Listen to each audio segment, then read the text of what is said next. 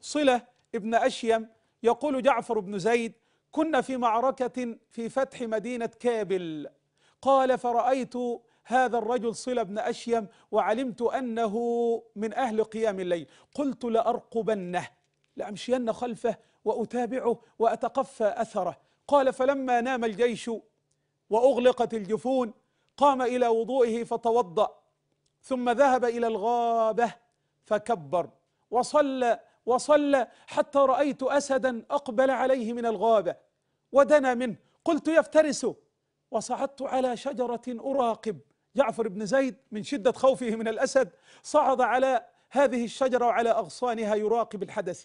قال فلما انتهى من صلاته إذا به يخاطب السبع ويقول أيها السبع احرص واذهب وابحث عن رزق في أرض غير هذه قال فانفلت الأسد وله زئير فانفلت الأسد وله زئير. نعم أخي الحبيب نحن قوم خفنا الله فخوف الله منا كل شيء. هكذا كان الصحب الكرام وهكذا كان التابعين.